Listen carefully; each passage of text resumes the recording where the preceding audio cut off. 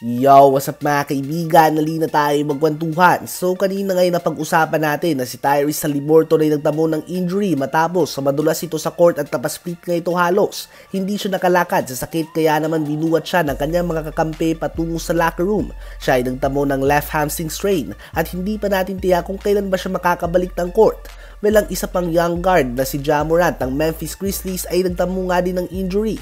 Ngunit ito nga ay malala dahil talagang kakailanganin niya na sumailalim sa isang season-ending shoulder surgery. Biglaan nga ito, madaming fans na nagulat dahil hindi nga naganap ang injury sa game pagkus sa practice ayon sa mga reports. Ganun pa man unclear nga daw kung ano nangyari sa practice ayon sa mga reports. Ang tanging tiyak lang nga ay talagang tapos na ang season ni Jamorant matapos sa maglaro lamang ng 9 games dahil sa kanyang 25 game suspension. Tuwing naglalaro siya ay nagmumukhang playoff team nga Memphis Grizzlies. Ngunit ngayon ay posibleng pabalik na naman sila sa dulo ng Western Conference. As of now ay dismayado ang kanyang mga fans na matagal na hinintay ang kanyang pagbabalik only for him to play 9 games.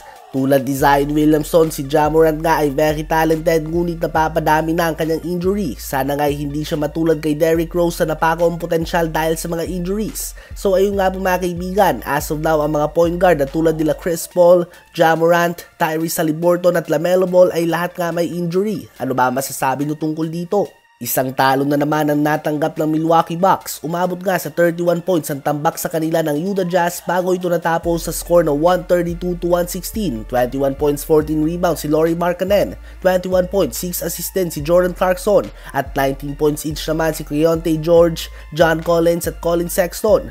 Sa Bucks naman ay 25 points, 10 rebounds and 11 assists si Giannis at 23 points, 8 assists si Chris Middleton. Ang Jazz nga ay may record ng 8 wins and only 2 losses sa kanilang last 10 games, habang Milwaukee Bucks naman ay isa lamang ang panalo at apat ang talo sa kanilang last 5 games. Dahil sa panalo ng Jazz ay umangat na sila sa 11 seed ng West at bumagsak naman ang Warriors sa 12 seed.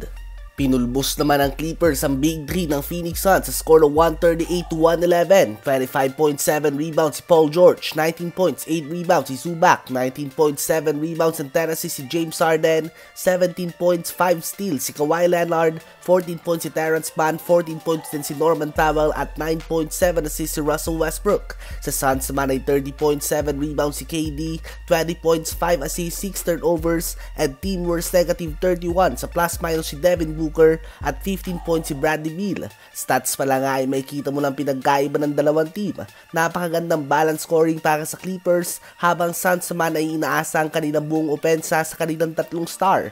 Malaking pinagkaiba din sa game na ito ay ang 44 to 25 advantage ng Clippers sa rebounds at 32 to 17 assist difference. Well, ito nga ang number one problem ng Suns. Inalis sila si Chris Paul at campaign. Wala nga silang natural point guard at in-expose yan ng 5 steals si Kawhi. Parang bata nga na inaagawan lang ng candy ni Kawhi ang mga ball handler ng Suns. Ang Suns ay pang sa West sa record ng 19 wins and 18 losses, habang Clippers naman ay pang-apat sa record ng 23 wins and 13 losses.